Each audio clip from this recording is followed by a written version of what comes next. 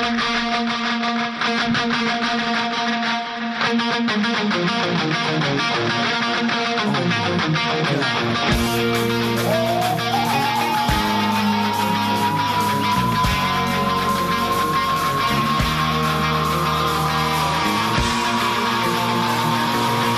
palabra no es valiente, la palabra es inconsciente.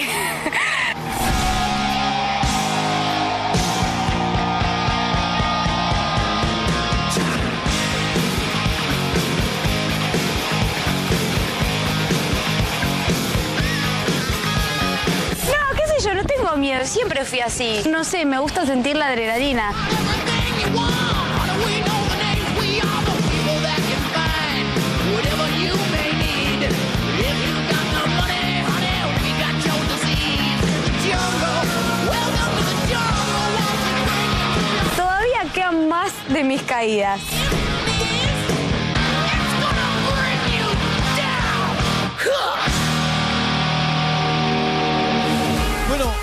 de todo. Hubo para mirar, para adelante, para atrás. A mí la que más me asustó de todo fue la vez que te tiraste en la red.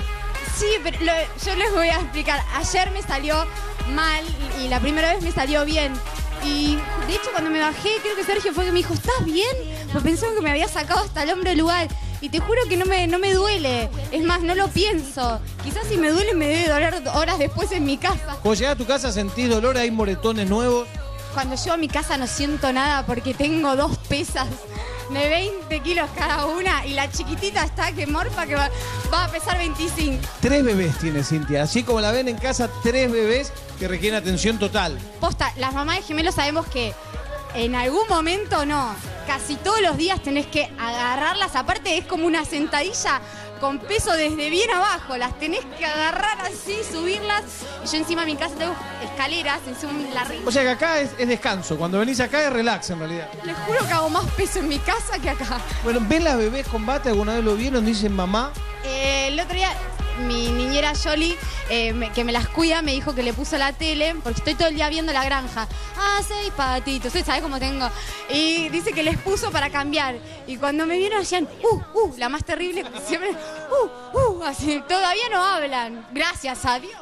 Falta poco, falta poco. Paciencia. Bueno, Cintia, a seguir para adelante y un tropezón nos caído. Exactamente, pero seguramente me voy a seguir cayendo porque soy distraída e inconsciente, todo junto. Todos juntos, Tiago, todos.